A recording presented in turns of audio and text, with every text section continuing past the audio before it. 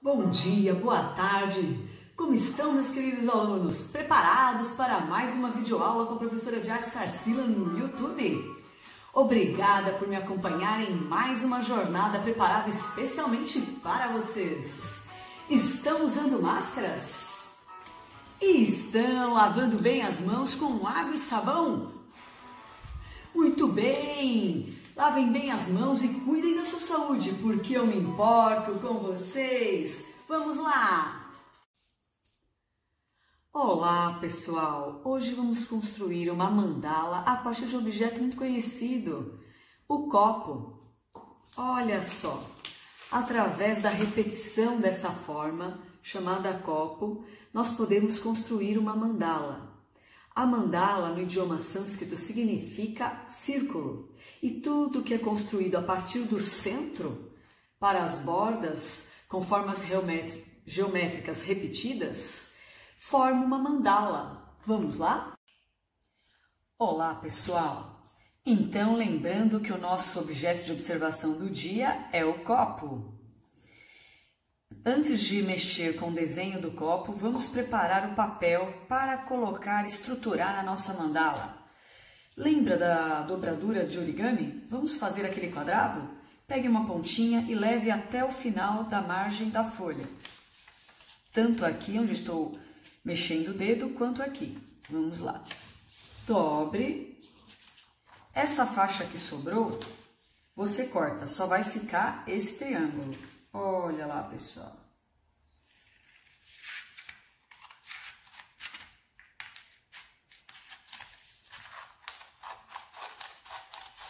E você depois separe esta faixinha que nós vamos utilizar.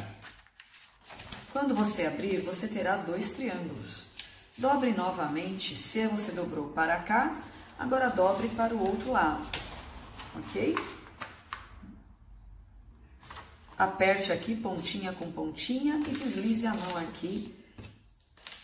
Verifique seu triângulo e abra novamente. Agora você tem um X. Vamos fazer agora uma dobradura de baixo para cima e marcar um retângulo. A forma de um retângulo. Olha lá. Agora vamos dobrar de um lado para o outro e fazer outro retângulo. Junte bem nos cantinhos das folhas, esses dois aqui, e deslize a mão. Muito bem, pessoal. Força aí. Olha só, quantos triângulos nós temos com essa marcação de dobras? Se você falou oito, acertou. Um, dois, três, quatro, cinco, seis, sete, oito, pessoal. Agora, você pode usar uma régua como esta, ou você pode criar uma régua de papel. A régua de papel é só você pegar uma folha, pode ser usada, dobrá-la, deita ela, dobre ao meio e dobre ao meio de novo, ok? Lembrando, pontinha com pontinha pontinha com pontinha. Você vai usar a parte fechada para fazer a sua linha. Observe. Coloque a sua régua aqui, aqui está a parte aberta, deixa para lá. A parte fechada é onde você coloca sobre a marca do seu papel. Se tiver difícil de enxergar, você pode fazer duas marquinhas com lápis e depois encostar o papel e riscar. Isso facilita também, ok? Você escolhe a régua que você tiver em casa. Se não tiver essa, pode criar uma dessa e vamos, vamos seguir. Vou, vou desenhar a linha em pé e agora deitada. Segure sempre no meio da régua a mão, em, a mão sempre assim, ó, no formato de L, e você inclina um pouquinho, e aí você consegue ter maior firmeza nessa, nessa régua. Muito bem. Vamos virar aqui e vamos continuar.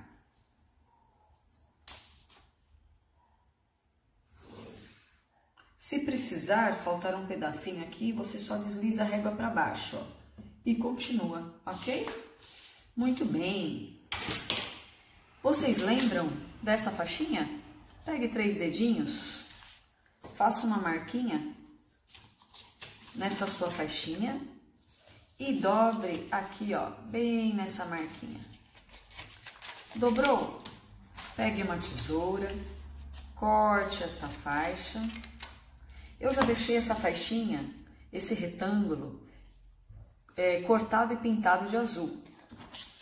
Ele vai servir, você pode usar branco mesmo, não tem problema, para transferir as medidas dessa largura desse retângulo, desse lado menor do retângulo e desse lado maior do retângulo para este desenho aqui, ó, que você acabou de fazer, que é esse asterisco, né? Essa junção de uma cruz com um X. Vamos chamar de asterisco, estrutura de asterisco.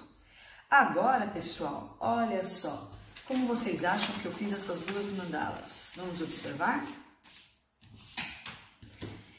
Eu fiz usando este retângulo. Para fazer esta mandala verde aqui e vermelha, eu fiz o seguinte. A partir do centro, eu encostei o lado menor do retângulo azul e fiz um risquinho no final da minha linha de asterisco aqui, ó, para marcar o começo do meu copo.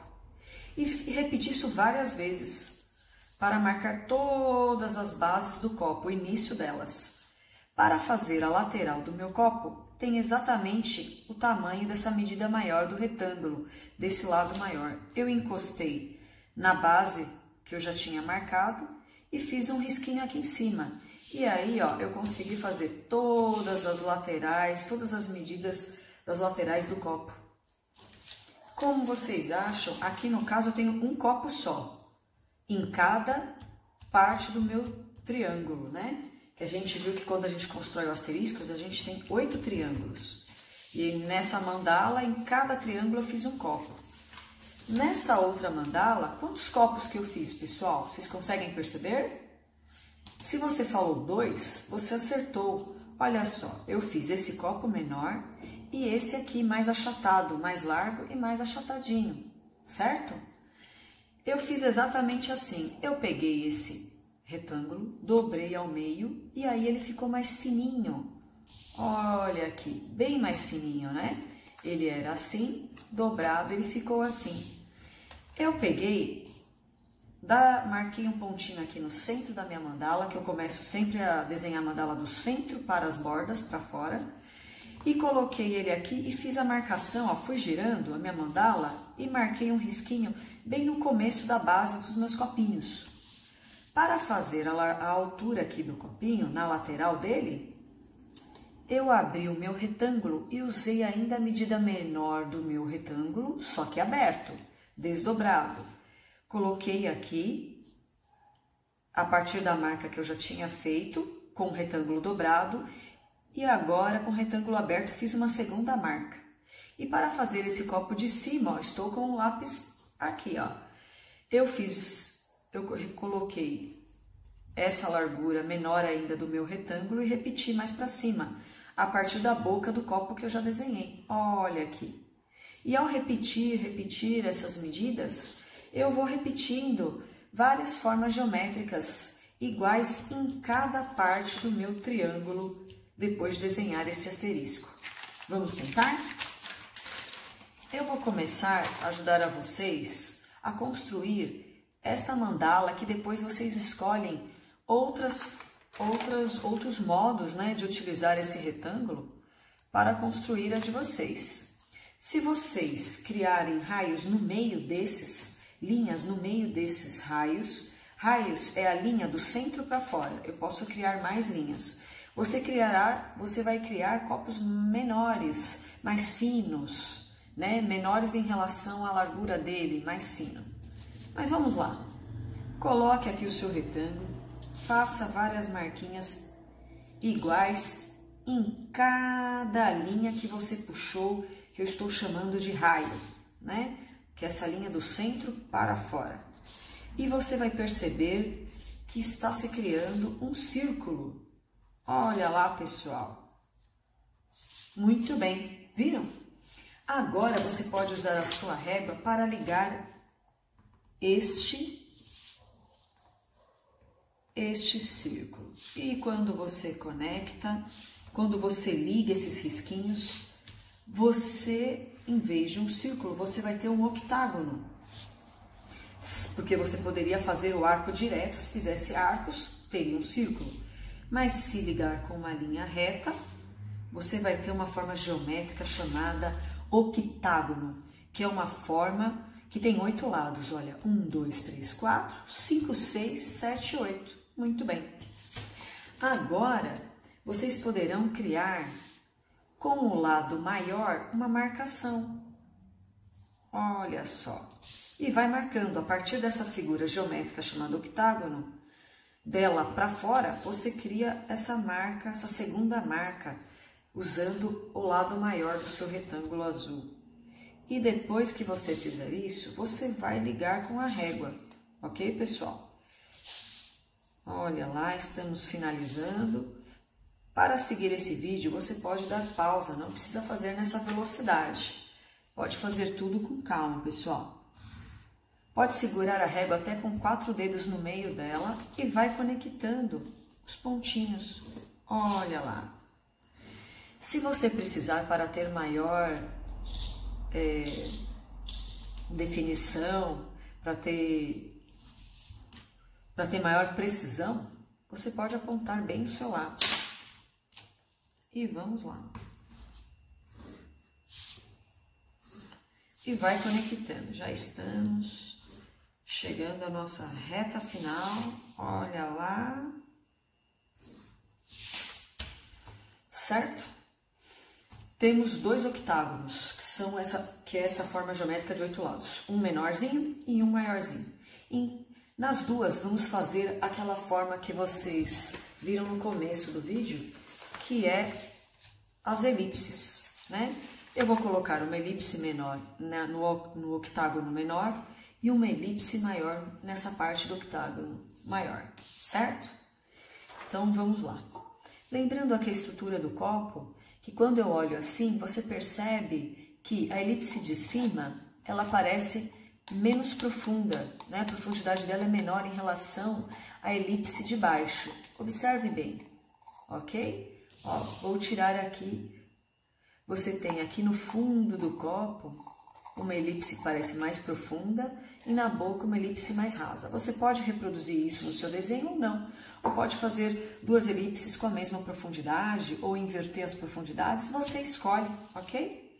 Então comece, se você quiser, marque um ponto com a mesma distância para baixo dessa linha em toda e no centro, né?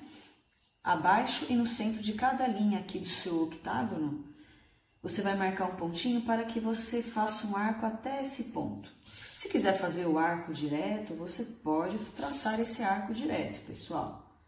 Ok? Se quiser traçar ele clarinho e depois, se você tiver certeza do seu arco, você traça ele mais forte, né? Mais escuro, que é quando você está certo é, da definição da, e da proporção do seu arco, ok? Olha lá. Fez os arcos, agora faça para o outro lado. Se você quiser marcar um pontinho logo acima, você também pode, pessoal. Olha só. Vamos marcar esse pontinho. E agora, vamos virar a nossa elipse para o outro lado. Se você quiser aproveitar e passar o lápis nela inteira, você consegue arredondar melhor as, os cantinhos. Ó. Esses cantinhos das suas elipses, você pode arredondar. Se você quer traçar só uma vez, uma única vez e deixar pronto, ok também. Eu gosto sempre de fazer esses arquinhos nos cantinhos e depois puxar o restante do meu arco. Aí vocês escolhem a melhor forma que vocês se adaptam melhor, né? Para construir essa forma geométrica chamada elipse, ou como vocês conhecem, mais como oval, né? Vocês utilizam mais o nome oval para essa forma que também tem o nome de elipse. Feito a base, com várias elipses, você pode fazer aqui, ó. Marque a sua distância, né, que você quer bem no meio dessa linha inclinada aqui, né? Do seu octágono, você quer que ela tenha aqui distância, né? De profundidade. Se você quiser deixar marcado antes, você vai virando ela e deixe tudo bem marcadinho, bem definido. Olha lá, pessoal. Isso facilita muito o seu trabalho, ok? E aí você vem aqui, ó, você percebe que esse cantinho vai ser mais fino, ó. E aí você puxa aqui as suas elipses. Olha só.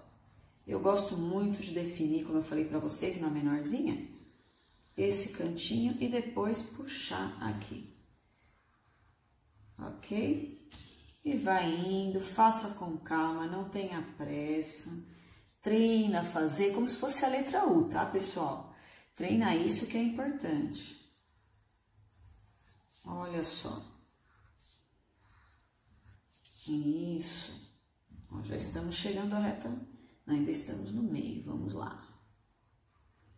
Respira, tenha calma, ó. Quando soltar o ar, trace a linha. É que no vídeo a gente tem um tempo mais rápido, mas para vocês em casa, vocês podem fazer tudo mais devagar, ok? O importante é caprichar, tá, pessoal? Como a gente ensina durante as aulas, vamos fazer tudo com capricho. Às vezes, uma coisa que a gente ensina numa videoaula, vocês podem levar mais de um dia para fazer, né? Então, ainda mais porque a gente fala que vocês podem pintar, vocês podem fazer uma finalização, um bom acabamento, né? E se quiser treinar mais aquela parte, né? Essa parte aqui, ó. Lembrem de fazer essas duas folhas. Faça, treine essa folha. Ó, vou colocar mais aqui para vocês enxergarem. Treine fazer esta folha. Dê um pause no vídeo para treiná-la. Depois treine fazer esta folha aqui, ó. Ok? E depois vocês vão construir a mandala. Então, primeiro eu vou dominar a estrutura do copo para depois estar tá fazendo aqui a minha mandala, ok?